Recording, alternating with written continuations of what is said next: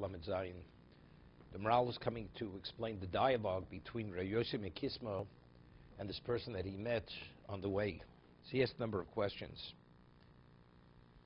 So the last question he asked was, he says, do you want to come live imano bimkomenu?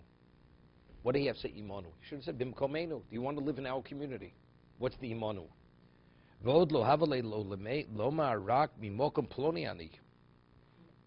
פלוני אני. כי לא שואל על חכומי שבמקומו.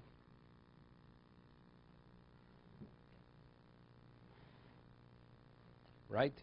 He said to Rabbi Yosef, Me'eza mokum ato, from where do you come from? So he says, Me'ir gedol shel chachom shel sofrim ani. He didn't ask him. Person says, you know, you come from uh, Yerushalayim. You have to start describing what Yerushalayim is. I asked you from where do you come from? Do you come from London, Lahavdil? From Yerushalayim, Lahavdil. Everything today is Lahavdil. Blatantly, it's Lahavdil.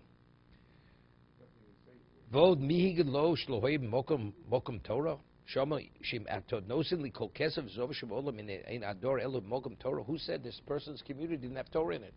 I will not only live in a community that has Torah. Well, how did he know this person's community didn't have Torah? Ulem koma gamke mokum Torah. What aksum shevi salecho tantcha oscho. Upir shmol mazeh. That if you conduct yourself with Torah, it will lead you. Shoch pchot tishmolech bekever. Hakitzosi tzichecho lo mabo. Loma bola mazeh koma tantcha oscho. Hear this?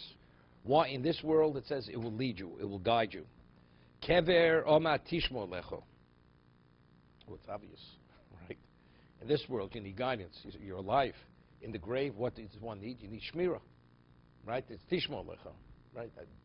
Then it says uloma bo hitzichecho, right? That's tzichecho. What, what, what, what are you going to engage in? What is, what is the subject matter you're going to discuss? You don't need, the ulama bo, you don't need guidance. This is after fact right? The Gemara says, Gemara says, Navodah Zorah, Misha Torch, Berev Shabbos, Yochel B'Shabbos. Gemara says, at the end of time, you know, the nations of the world are going to come with a, with a claim. What about us? You left us out in the cold. So after back and forth, where they're deserving of nothing, they say, but it's still not fair.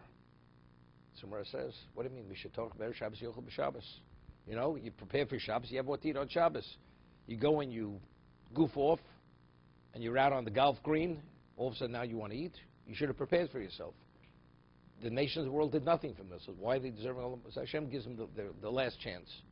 Mitzvah Kala, the story of Sukkah. So he's saying over here, it says, Lo. What, uh, what are you talking the world to come? This is after fact. This, this is after Mishatorach Berev Shabbos, Yochel B'Shabbos.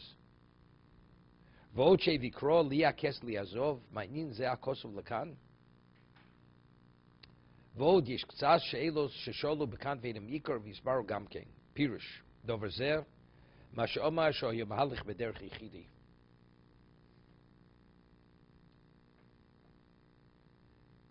See, by us it doesn't say, it says, Pamachas yisim halach bederech.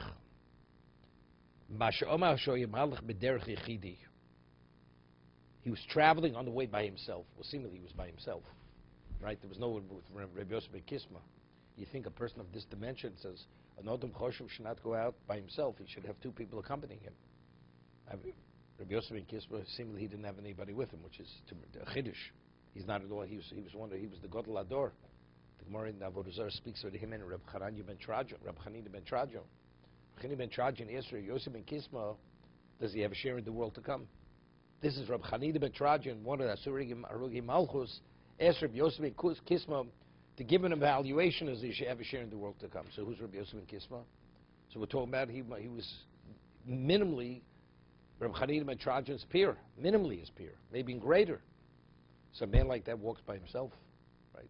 It seemed like Masha'oma shei malter chechidi haru mechuyev lasuk betorah b'mesachas ervin Omer Ibshu ben Levi hamahalach b'derech ve'ein lo levoyo person's traveling himself on the way and he has no, no one is accompanying him. What should accompany him? Yask b'Torah. Shenema ki levoyos chein him l'roshecho. Torah is the accompaniment. Torah protects you. Harei shemishum halach b'derech chidi lasuk b'Torah. Osi b'Torah derech yichidi hu osi b'Torah bizbodus yisero. And if you're fully engrossed in Torah, so you're really in a state of solitude. You're removed from everything around you. Lo kami. Shosik beso. Afal push pisho lo me basic rav.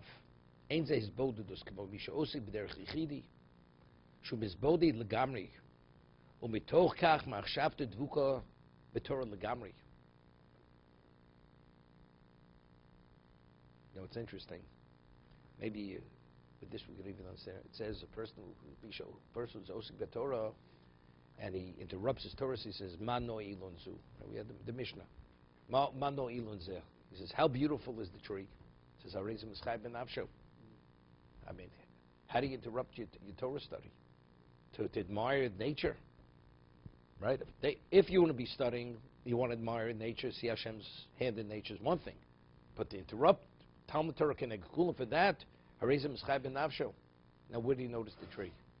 Does it seem, is he studying in his house? If he's studying in his house, he doesn't see a tree. It seemingly he's walking on the road? So he's speaking over here. We're speaking about Shu Mizboded Legamri, B'tokach Mashavto Dvuka Batorah Legamri. We're talking about he's fully immersed in Torah, fully immersed. V'maloshin mahalich b'derech v'loholich b'derech. Ki aloshin mahalich b'derech ein lo levoyo. Mahalech kerochiv dami, b'chomokum kachu, ki holech shematorhu, av mahalech ein a. You want to say, what is a person who he's walking? Mahalech means fully engrossed. He's the he's not holech, he's mahalech. Ubnei dvekusa b'torah b'derech hoyagorim shomer imetin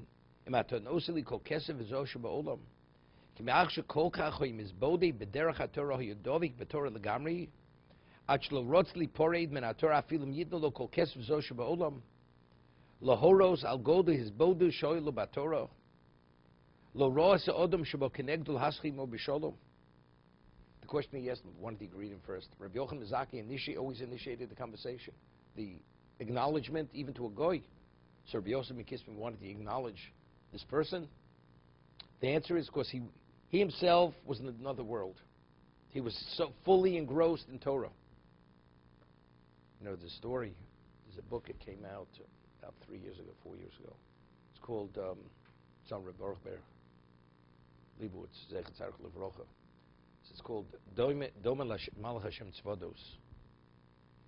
So, um, the story was the war just broke out, and one of the people, he received a telegram from his parents that he should come to where, where, whatever city in Poland. Leave the yeshiva and come before they shut down the border. So he went, he had to have his passport, had to be something, he needed some visa, passport. So he went to Baruch son his name was Reuven Grozovsky, who was the Rosh Torah after the war. And he handled all the the bureaucracy of the yeshiva. Anything to do with the administration, even though he was also, he said one of the shurim. So Reb, so Reb Reuven Grozovsky sent him to Reb Baruch Ber to uh, to speak to him about about the, the passport visa leaving the yeshiva. Should he leave? Should he not leave? Should he ignore the telegram from his parents? And um, factually, he left. His parents were already. It was a mistake to leave, so uh, he was Lithuania. So he comes to uh, Reb Baruch Ber. Reb Baruch Ber, he would spend a few hours before he would say a shir. And when he was immersed in that shir, if you look at him, his eyes, and you would speak to him, he was like glassy-eyed. He was like in a different world. You would look at him, you'd see he, he, he wasn't in touch with you. So he comes, Baruch Ber, you know, he comes into the lifts his head, and he speaks to him for about 20 minutes. Baruch looks at him, and after he finished 20 minutes, he realized nothing registered. The conversation didn't register. And he see, realizes, you know, he's in a different world because he was so immersed in the learning before he would say a shir, he was out of touch.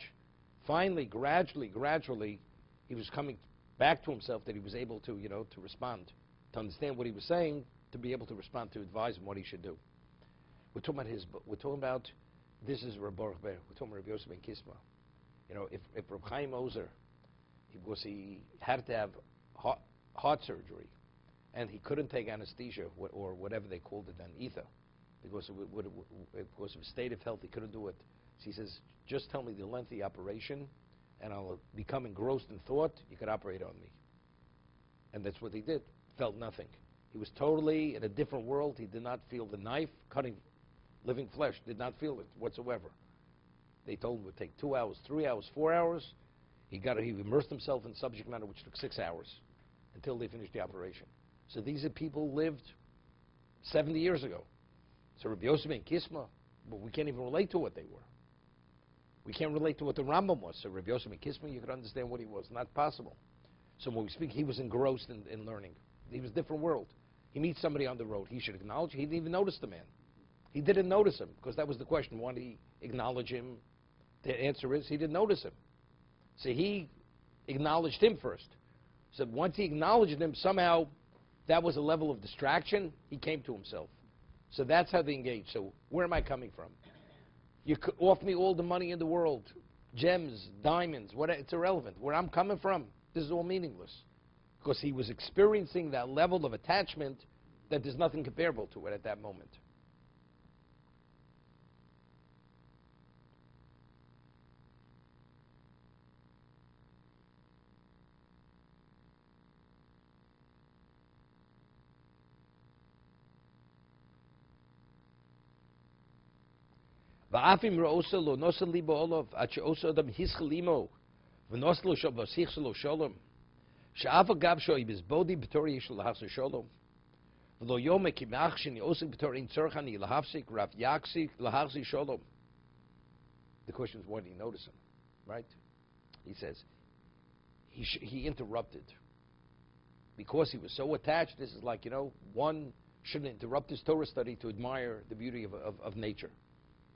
So here he should.